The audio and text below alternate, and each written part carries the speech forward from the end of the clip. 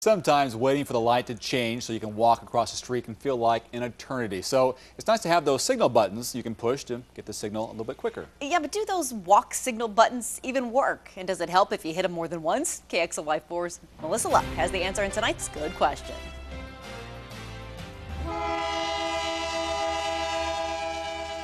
If only we could all get this kind of attention when we tried to cross through an intersection. Blinking lights and roaring horns, and no question we were coming through. For us mere mortals, however, this will have to do. Yeah, we press it, but it doesn't seem to do anything. You just kind of got to wait for it to uh, to change. It's Sometimes I press a button, I don't know if it's going to work. That's Stan Mattingly. For him and the rest of Spokane's walkers and bikers, the pedestrian button gleams with hope.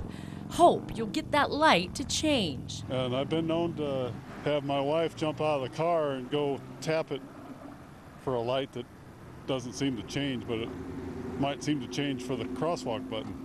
But is this an exercise in futility?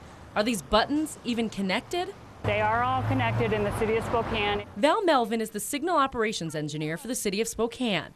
She told us the buttons do exactly what they're designed to do. You have to push it in order to get the walk signal to come up. If you don't push it, the walk signal won't come up. Hear that, Stan? The walk signal.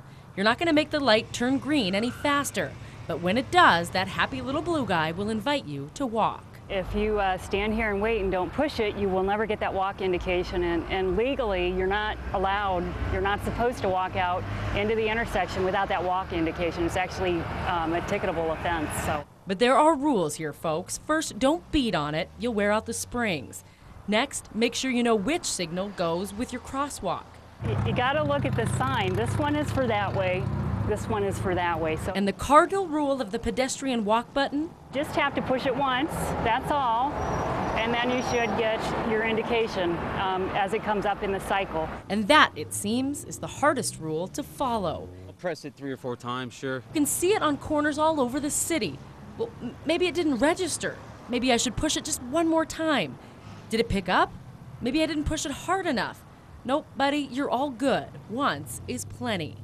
But these rules aren't applicable everywhere. In New York City, for example, these old buttons were disconnected, out with the leg warmers and big hair of the 80s, making way for new technology. But the signals remain and folks keep on pressing. But out here in the West, we deliver what we promise. So press on, Spokane. Just be gentle about it. It's not going to work any better if you beat on it. With this good question, I'm Melissa Luck, KXLY 4 HD News. Now I know. That good question came from KXLY4's own Colleen O'Brien. But we want to hear from you if you have a question or need something answered. Send it to us at goodquestion at kxly.com.